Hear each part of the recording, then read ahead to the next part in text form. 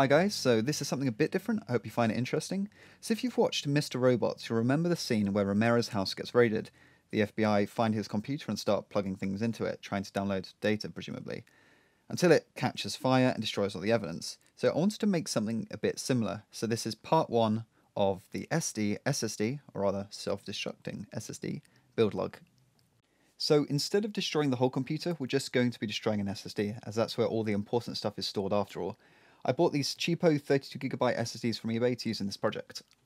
Next, there's the whole fire thing. You've got iron oxide and aluminium powder. The chemists among you will probably see where this is going. While harmless by themselves, when mixed together with the right proportions, you get this thermite.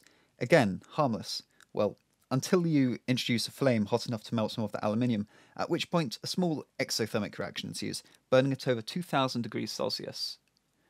I should take a moment to state the obvious. Don't do this at home. I've researched this so I know what I'm doing. Kind of. I only used a couple of grams of thermite here, not enough at all to raise the temperature of a container by what's needed to melt it. So the general idea is to surround the SSD in this stuff ready for ignition on command. This 32GB SSD has four 8GB chips, so all of those chips will need to be destroyed. Since this is going to be taking up a decent amount of space inside of a computer, I'm going to be hiding it inside an optical drive that I've hollowed out.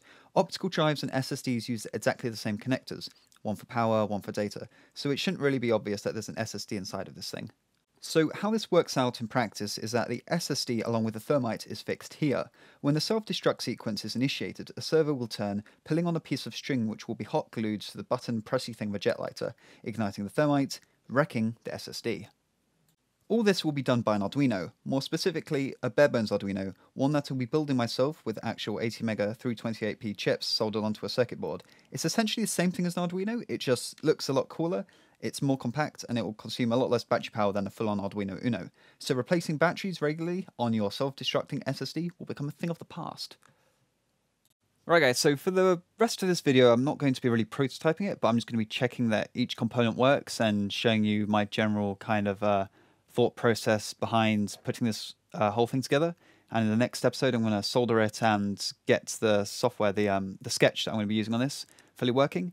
Um, it's a bit rumbly at times, this next bit. I, it could have turned out better. Some bits I've dubbed over, other bits I'm just talking as I'm doing it.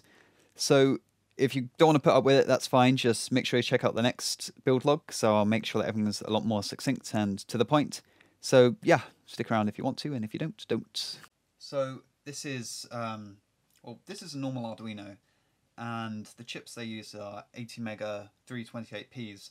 So it's essentially the same chip from an Arduino, but I'm putting it on a breadboard so we don't have all this other stuff around it, which we don't really need in the first place.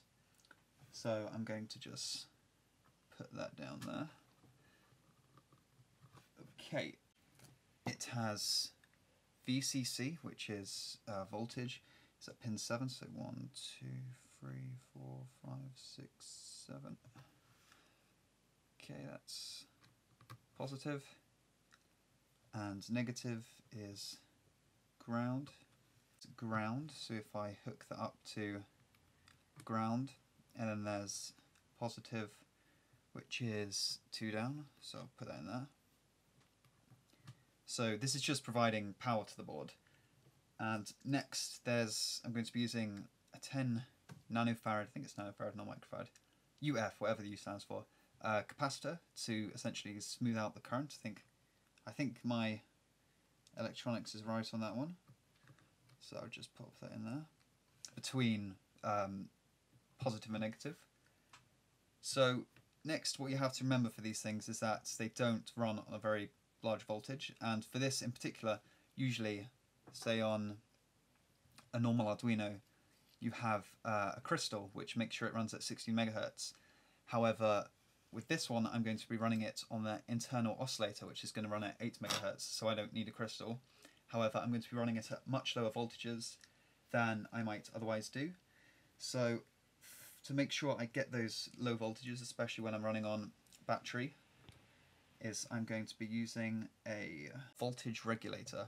So this is going to take, um, I can't remember what the maximum ratage is, but because we're using a servo and this, this is only going to be using 3.3 volts, whereas the servo we're going to be using is going to be using something like 7.5 because because they just have different power requirements. So this is going to take the 7.5 voltage that we're using for this and convert it down to a much lower voltage that we, we will be able to use for the chip.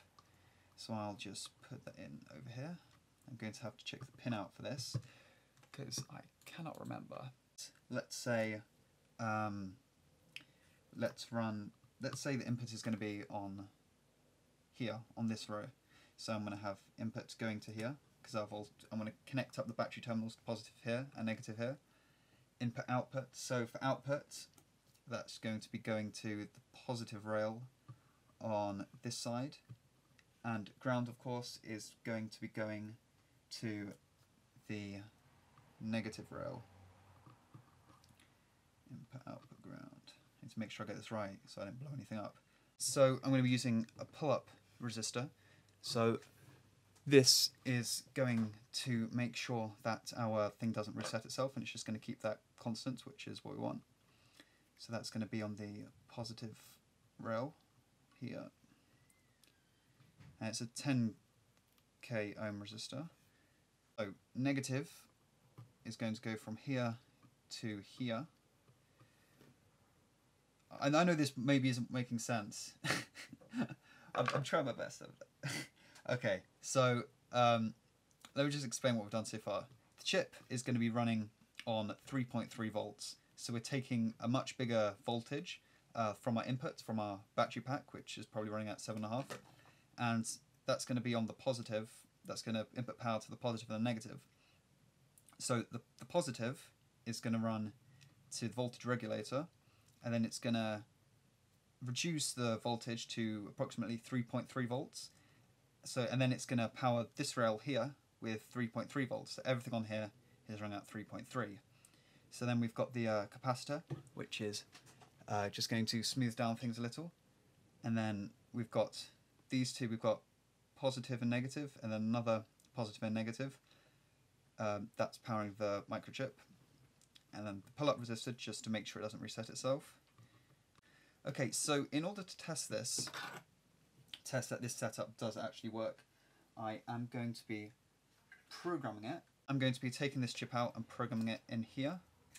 So I'm going to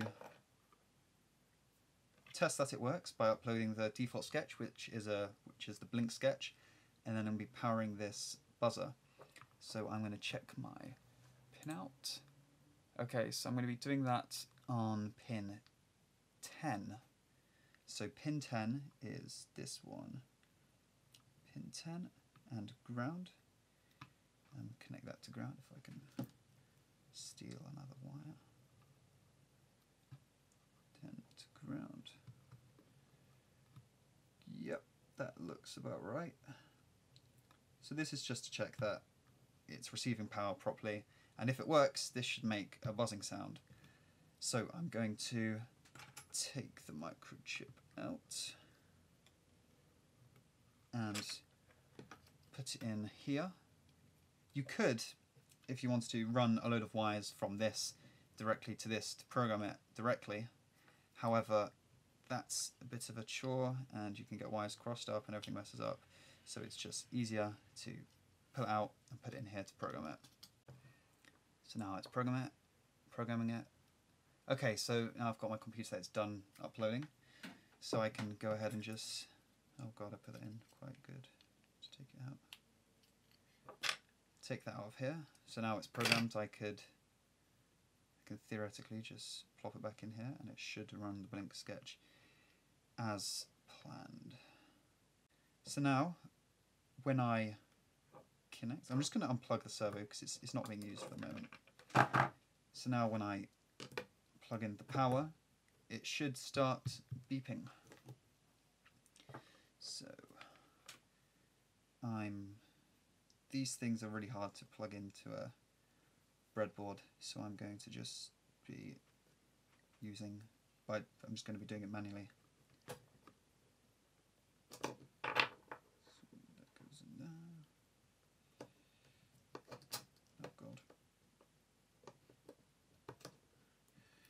Okay, negative and fingers crossed. Okay, it's a very quiet.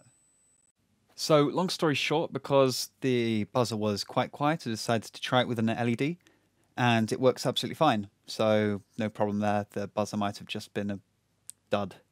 So, here I'm just demonstrating that I'm getting two different voltages. When I show you the voltage of the whole battery pack, you can see I get about seven and a half what I um, estimated it to be.